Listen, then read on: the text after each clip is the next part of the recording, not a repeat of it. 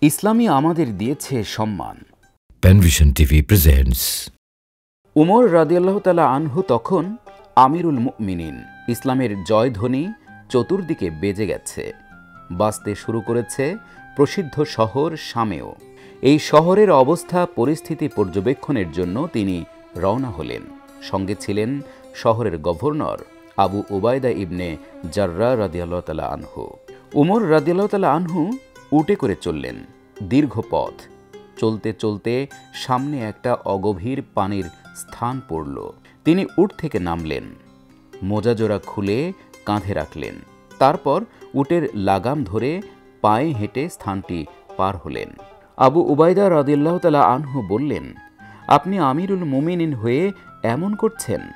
আমার মনে হয় না শহরবাসী আপনাকে অভ্যর্থনা জানাবে। উমর আনহু তাকে ধমক দিয়ে বললেন, আমরা ছিলাম অপদস্থ জাতি। আল্লাহ ইসলামের মাধ্যমে আমাদের সম্মানিত করেছেন। আমরা যদি ইসলাম ছাড়া অন্যভাবে সম্মান খুঁজি, তাহলে তিনি আমাদের অপদস্থ করে ছাড়বেন।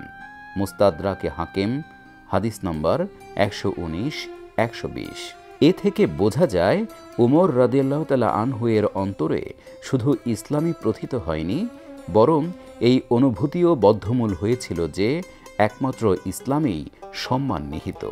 ইসলাম ছাড়া অন্য পথে সম্মান খুঁজলে কপালে শুধু লাঞ্ছনাই মিলবে।